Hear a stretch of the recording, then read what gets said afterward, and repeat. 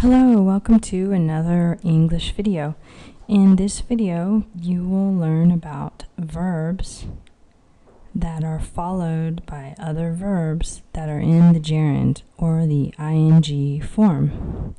There are several verbs in English that you can use with another verb behind it that uses the ing form. For example, enjoy is one such verb. You can say, for example, I enjoy, and then the verb that the action or thing that you like to do goes in the gerund. I enjoy reading books.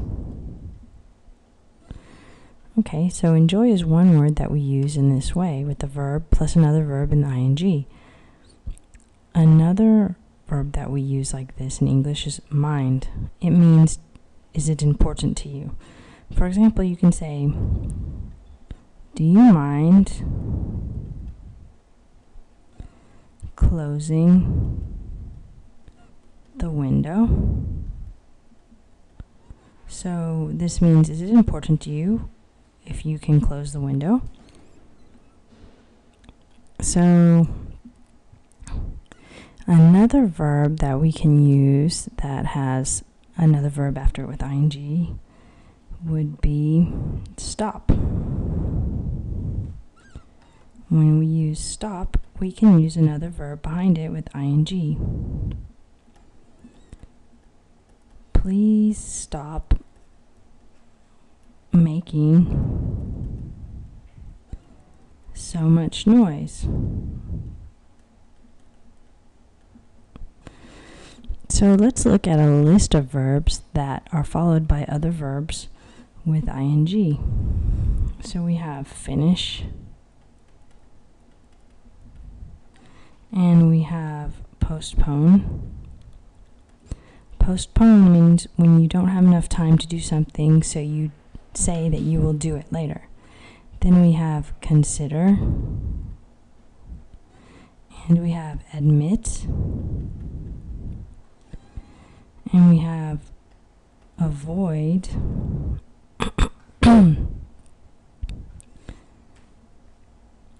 deny risk imagine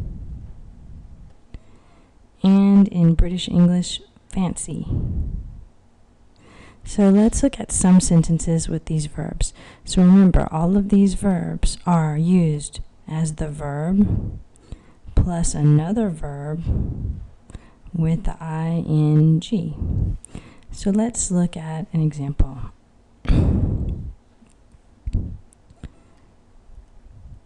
he finished studying at 8 p.m.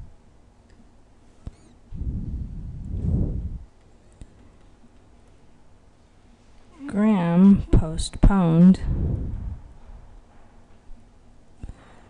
going on holiday until next year. So that means he did not have time to go on holiday now, so he said he would do it again next year. She considered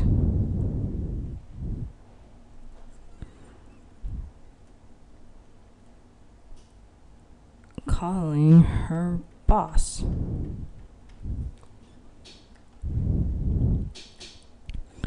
Robert admitted to breaking the window.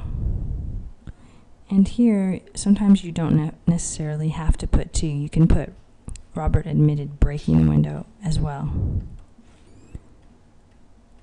Leslie avoided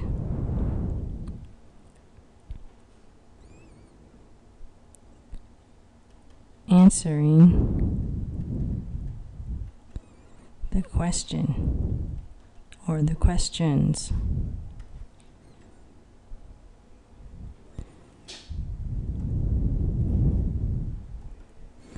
And few more. Let's see if we can make examples for a few more. Deny, risk, and imagine. Howard denied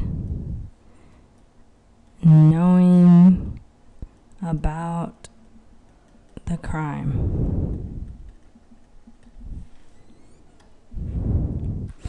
And the rest, you can imagine what these can be. Maybe you can think of some example sentences for these three words. So, as you can see, there is a list of verbs in which we use a verb plus another verb with ing.